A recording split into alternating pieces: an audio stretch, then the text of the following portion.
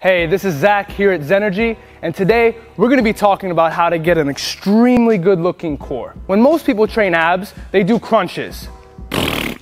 Stop doing crunches, those are shit. I'm gonna show you some anti-rotational moves that get your six pack looking chiseled and ripped. First, we got the Pallof press.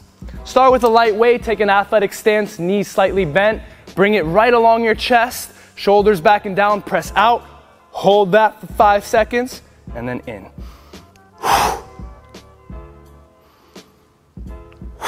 The house is coming apart.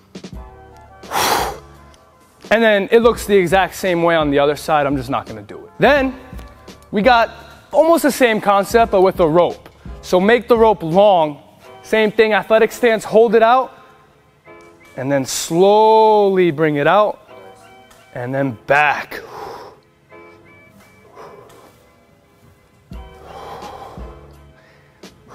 Keep your core tight. Keep that breathing going throughout. The next one is probably my most favorite. You get that rotational strength. You get those obliques going.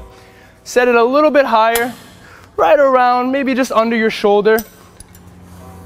If you're holding with your right hand, right leg is out in front, you're gonna pull it, keeping that elbow in line with the shoulder, pull it back and reaching with the other hand. And just holding it here. Holding it, keep that breath going Five seconds, back.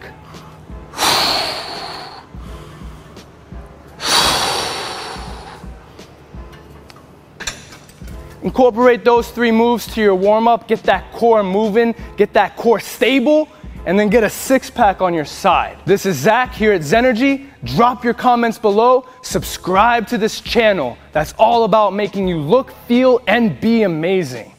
Get that six pack right. We'll see you next time. Eh, rela.